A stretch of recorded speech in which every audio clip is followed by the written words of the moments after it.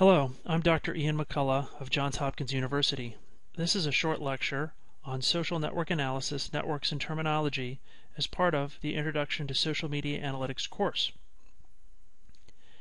This lecture has three learning objectives understanding network terminology, identifying types of networks, and the ability to construct a network from given data. Many of you may have seen the movie Good Will Hunting. In this movie, there was a problem known as the genius problem. The genius problem is provided here. Find the adjacency matrix A of the graph G. Find the matrix giving the number of three-step walks for the graph G.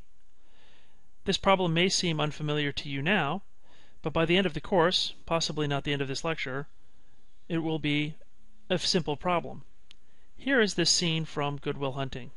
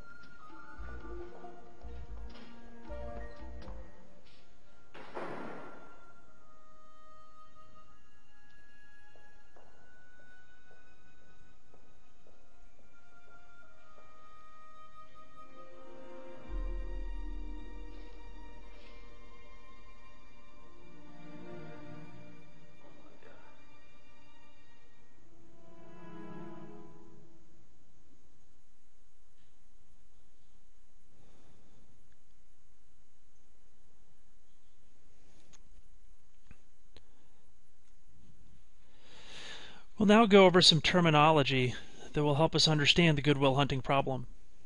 A graph is a set of points, frequently called vertices or nodes, that are connected by line segments called edges or links. Now there are four, five uh, terms in that sentence. A graph is not a picture, a bar chart, a line, uh, a line chart. A graph is a mathematical term that consists of a set of nodes and a set of relationships between them. Mathematicians tend to call nodes vertices, computer scientists and sociologists tend to call them nodes. These dots here in the figure represent the nodes. The lines connecting them represent the edges or links. The mathematical term vertice goes with the mathematical term edge. The sociological term node goes with the sociological term links. It is incorrect to have vertices and links or nodes and edges, although some people do use those terms uh, intermittently. A social network is a graph, set of nodes and links, which has a finite set of actors which we often call agents, and the relationships defined between them. So a social network is a special type of graph that is people are the nodes and relationships between the people are the links. There can be many types of social networks. You can have friendship, you can have respect, you can have familial relations but a social network is specifically defined such that the nodes are people. The figure below has four vertices and five edges. Take a moment to count those and make sure you understand what are the nodes and what are the edges.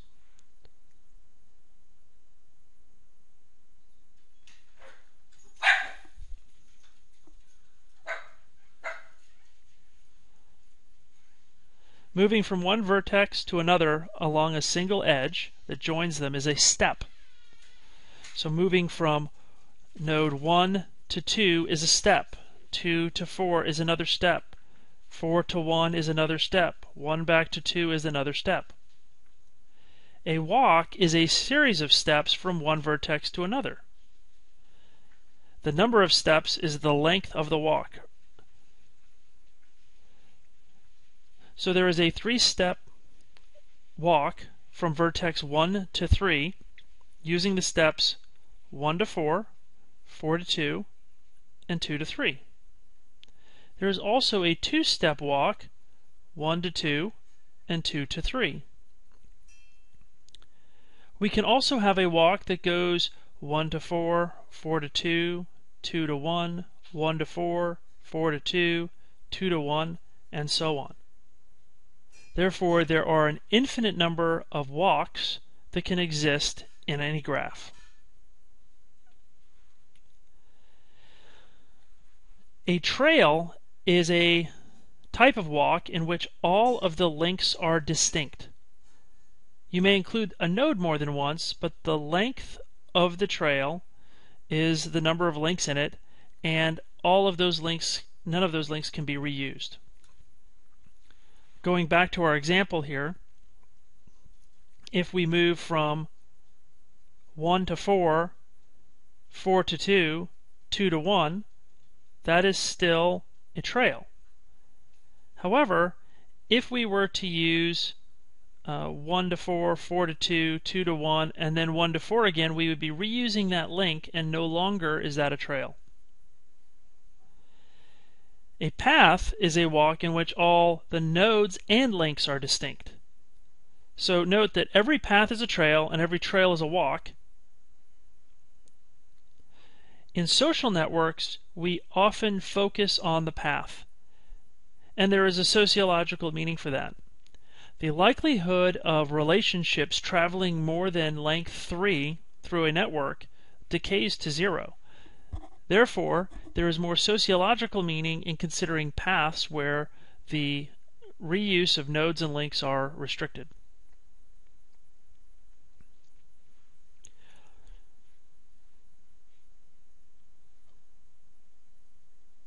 It is very important to understand in any pair of nodes whether or not there is a path between them.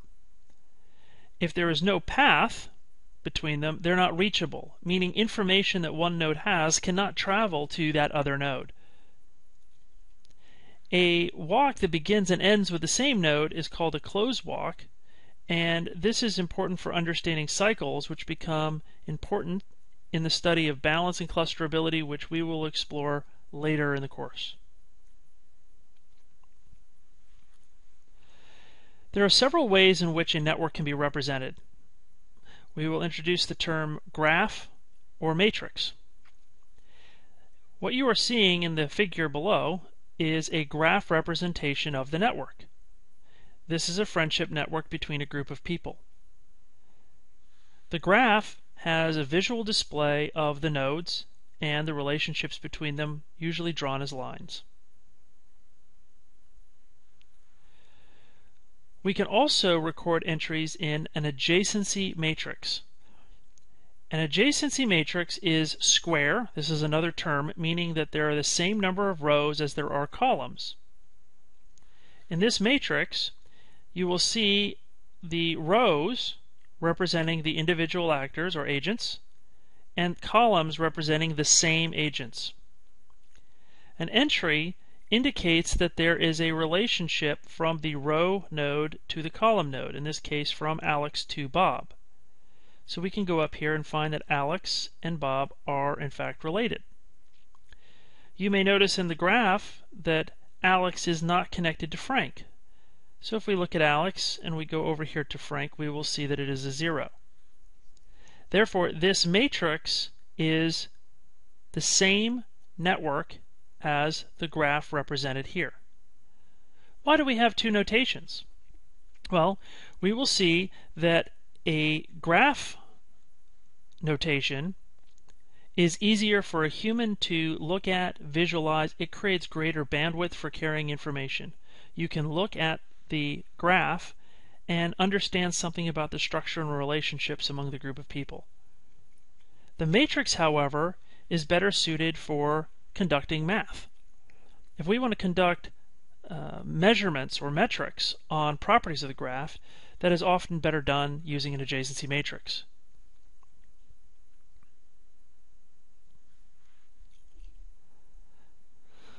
Mathematically, any network, uh, social network, can be represented by an adjacency matrix, and the simplest case is what's called a dichotomous or binary network. The notation we have is a small letter, in this case A for adjacency matrix, represents an element of the matrix. The notation ij are indices, meaning from node i to node j. And it is a 1 if there is an edge between node i and node j. It is a 0 if there is no edge between node i and node j. We're going to review some additional notation that may be unfamiliar to some of you in the course. The first is the large Greek level letter sigma, which is used as a summation symbol. The i in the below says we are going to sum over the i indices. There is an expression here with an i as an index, meaning that there are multiple values of x and this operation is telling us to sum each of those values. So x1 plus x2 plus x3, etc., until you've summed over all of the x's. Many of you have learned to take an average, which is add up how many there are and divide by the number you have.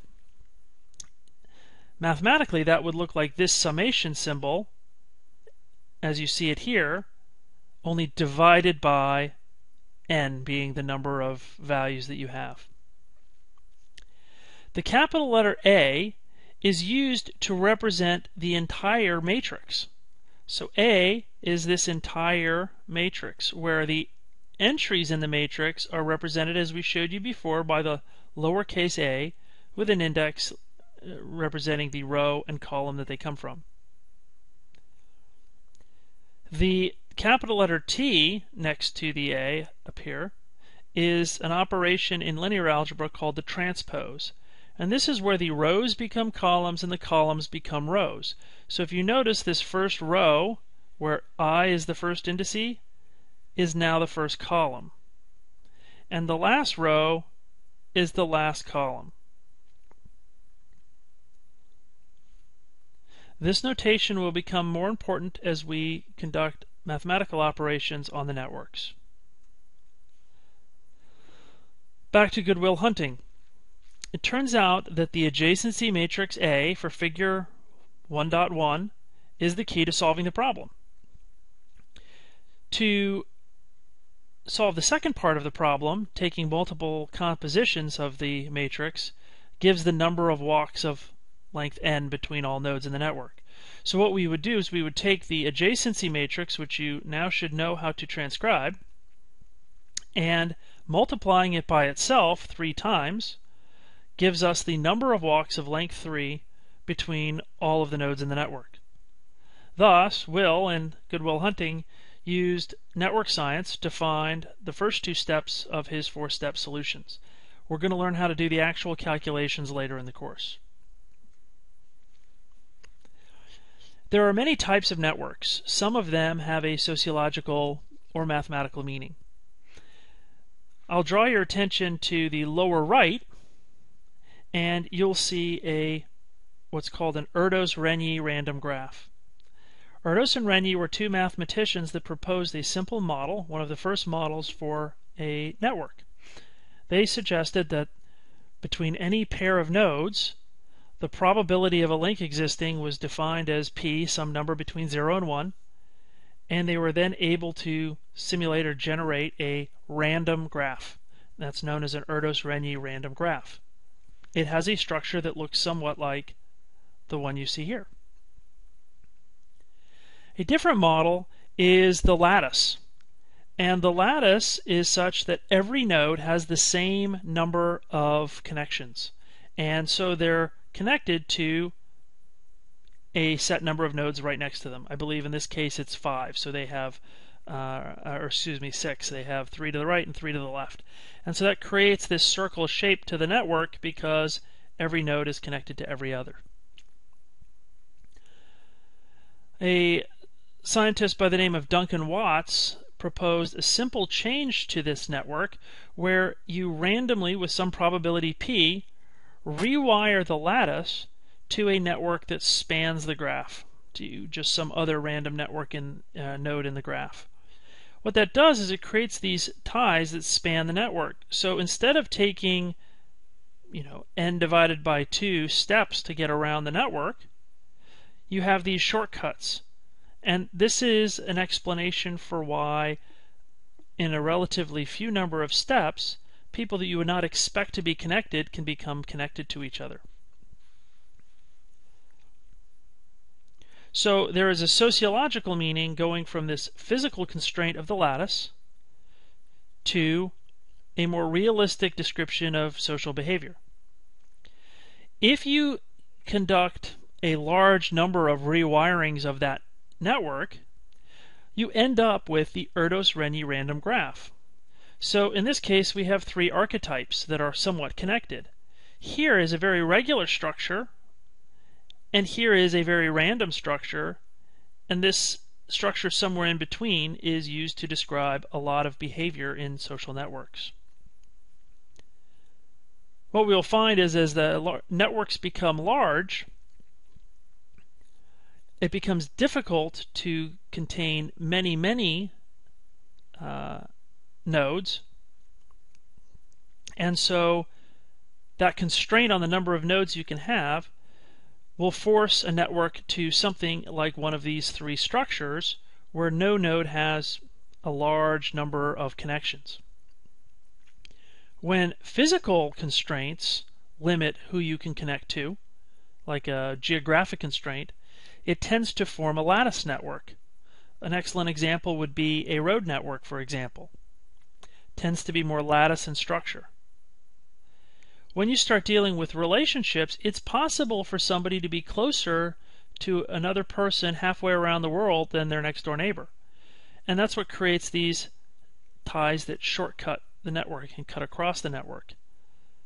As internet and mobile communications increase the likelihood of that, we have greater and greater rewirings, and our structure actually becomes more representative of Erdos-Renyi's random graph. Another archetype is the scale-free network, and due to the small number of nodes, this is probably not the best uh, representation.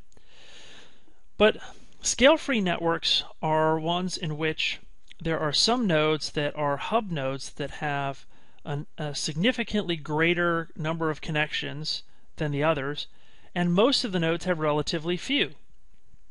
In this way, the rich get richer. The more popular a node you are, the more popular you will continue to become. And this node is very common in the internet, uh, is very common with uh, the World Wide Web, and a variety of applications. However, when humans are involved and we have that cognitive limitation on our number of connections, it prevents those hub nodes from forming and forces us to more of an Erdos-Renyi structure. Two other types of networks that have sociological meaning are the cellular network. This is uh, thought to be cloak and dagger in the world of spies, where you have these little cells that are highly connected with relatively few connections to the rest of the network. The core periphery is often thought to be in organizations where there's this core in the network that does all the organization, leadership, planning, and you have these peripheral nodes that um, are participating in the structure. These archetypes help us understand certain types of networks and certain types of behavior. This chart just shows a contrast between network and traditional analysis. In traditional analysis, we're focused on individuals. What can we say about this person? What can we say about their IQ? What can we say about their education? What can we say about their height, their uh, their individual attributes? In network studies, we're interested in the relations, which is the dyad between two or the triad between three people. We're less interested in attributes and more interested in the relationships. Traditional analysis has an assumption that each data point is independent of another data point and usually identically distributed. In network studies, we don't have that assumption. We assume, in fact, that a node's behavior, actions, attributes are in fact dependent upon the other nodes around them. We conduct experiments where we attempt to control the experimental environment, whereas network studies are often complex and that is not possible. In traditional studies, we look for significant factors. In network studies, we're looking for interactions. The analytic framework for traditional studies is correlation. In networks, we're looking at structure. The mathematical foundation for traditional studies is calculus. In networks, we look at graph theory, linear algebra, and discrete math, which are actually easier than calculus, but just not common in the typical education, math education curriculum in America. I'd ask you to meditate on this slide for a little while because the difference between traditional and network analysis is something that doesn't strike you at first glance. You must train your brain to not look at individual attributes as the most important thing in any kind of scientific study and instead look at structure, clustering, group behavior, which is what network analysis is really for. Thank you for the taking the time to listen to this short lecture on social network analysis, networks, and terminology. This is Dr. Ian McCulloh of Johns Hopkins University.